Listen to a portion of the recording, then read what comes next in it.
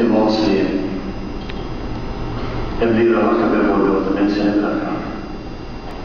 Glim, lachen, zoals ze zeggen. Dat wil zeggen